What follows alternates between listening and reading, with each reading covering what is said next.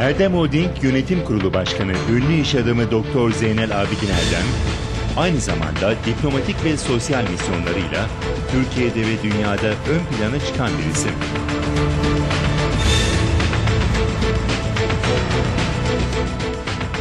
Türk-İspanyol Ekonomik İlişkiler Konseyi Başkanı ve İspanya'nın Marmara Bölgesi Fahri Başkonsolosu olan Doktor Zeynel Abidin Erdem, Türkiye-İspanya ilişkilerini şöyle değerlendiriyor.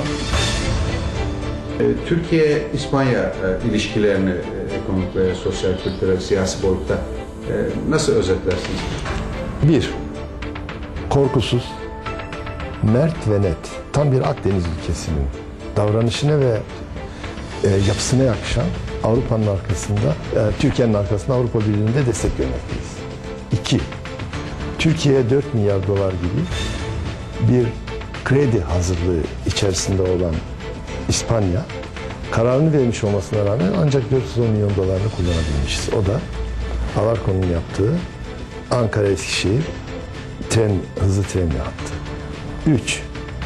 Çanakkale Boğaz Köprüsü'nün kredisi masa üzerinde durmakta. Hala Türkiye Cumhuriyeti e, hükümetinin talimatını ve kanuni formalitesini beklemekte oradaki işi bitirmeye çalışmaktadırlar. 4. Karayolu ve de demiryolu. Bilhassa İspanyollar demiryolunda çok kuvvetlidirler.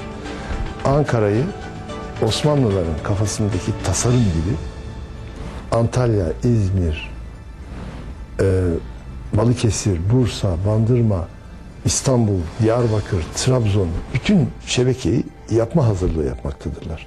İşte Sayın Erdoğan'ın e, İspanya'daki etkinliğinin en büyük göstergesi bu 4 milyar doları uzun vadeli krediyi bu hükümete olan güvenlerinden dolayı hazırlamış olmalarıdır. Doktor Zeynel Abidin Erdem, Türkiye-İspanya arasındaki ilişkilerin gelişmesine yaptığı katkılardan dolayı İspanya Kralı Carlos tarafından İspanya Yüksek Devlet Nişanı ile ödüllendirildi. Erdem, iki ülke arasındaki ekonomik ilişkilerin Başbakan Erdoğan'ın da desteğiyle son yıllarda daha da geliştiğini vurguluyor.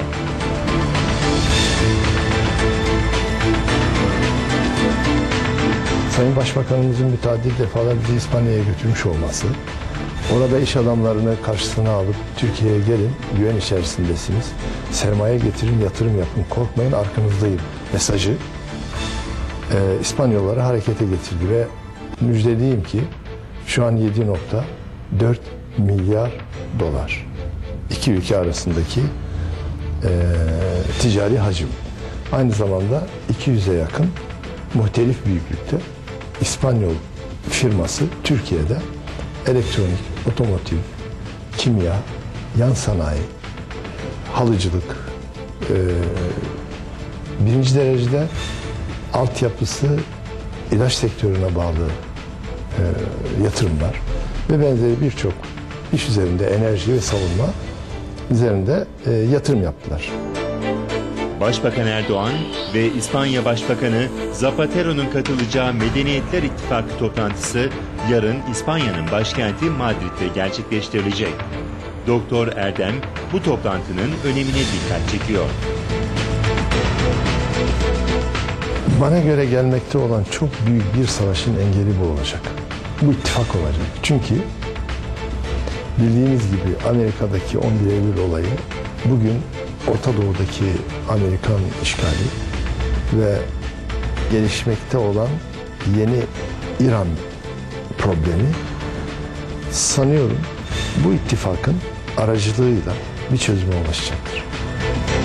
Bu toplantı çerçevesinde Türk-İspanyol İş Konseyi'nin karşılıklı iş forumu da düzenlenecek. Foruma yüze yakın Türk iş adamı katılacak. Doktor Zeynel Abidin Erdem, iş adamlarının birer fahri elçi olarak Türk dış politikasında önemli roller üstlendiğini belirterek, belirli kıstastaki iş adamlarına devletin kırmızı pasaport vermesi gerektiğini vurguluyor. Bu tip fonksiyonel iş adamlarına kırmızı pasaporta giden yol bile açılmalıdır. Bu süreç içerisinde hizmetleri bittiği zaman pasaportlarını iade edip e, sivil toplum kuruluşlarından ayrıldıkları zaman da eski hayatlarına dönmeleri gerekir. Dünyada bunlar var. Rusya gibi önemli bir devlette bu var. Amerika'da var. Avrupa'daki dünyanın en kuvvetli İngiltere'sinde var. Birçok ülkede var. Türkiye'de de olmasını bekliyoruz. Bugün Sayın Rifat Hisarcıklıoğlu Filistin'e kuşun uçmadığı yere yatırım yaptırabilen, fabrika kurdurabilen o maküs tarihi zavallı Filistinlilere beş kuruş sağlayabilmek için dünyada hiç kimsenin beceremediğini e, devletimizi arkasına da alarak, başbakanımızın değerli desteklerini de arkamıza alarak İsrail'i ikna edip Filistin'de yatırım yaptılar. Yani bu gibi misyonu diplomasi olmadığı halde diplomatik misyoneriyi aşan çalışmaların başarılması mümkündür. Sadece bu bir örnek. Aynı zamanda Sudan'ın da Fahri Başkonsolosu olan Doktor Zeynel Abidin Erdem, Sudan'ın gelecekte önemli bir ülke haline geleceğine dikkat çekiyor.